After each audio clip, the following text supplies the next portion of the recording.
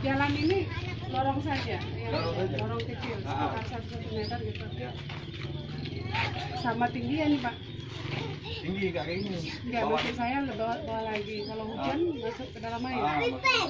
Eh, setelah ada rabat ini dan ada talut itu penahan tanah itu, Ya. kira-kira airnya masuk lagi ke rumah tidak? Ah, Kalau hujan, ini bapak rasakan kan ada talut, oh, ada masuk juga. Setelah ada rabat ini, Masuk juga karena nggak bisa turun sana. Nggak bisa turun ke sana. ah, ini ada pakai lalu, Ah. yang pakai ini apa? Pipa. Pom pipa apa? pipa. Pipa. Pipa.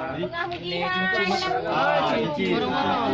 Oh, gorong-gorong. Ah, dulu kan pakai ini. Oh, sekarang Ah, langsung. sekarang langsung Ya, air. tapi kira-kira kalau misalnya bapak lagi musim hujan, kalau berjalan kan tidak becek lagi ya? Ah, enggak lagi, udah. Udah enak ya, mobil enak. bisa masuk Udah ya? masuk, udah enak. Ya, Nggak Pak ya? kotor lagi. Yang punya mobil, yang punya Ah, kendaraan iya. bisa langsung. Iya, langsung bisa. Manfaatnya bermanfaat tidak kira-kira nih?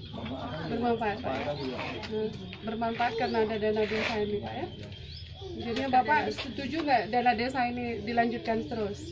Setuju Pak ya? Walaupun bukan Bapak yang mengerjakan ya? Ya, Tapi Bapak yang menikmati ya? Iya, iya. Ah, iya. Nama Bapak siapa? Om Rijal. Terima kasih Pak ya. Mudah-mudahan bisa dipelihara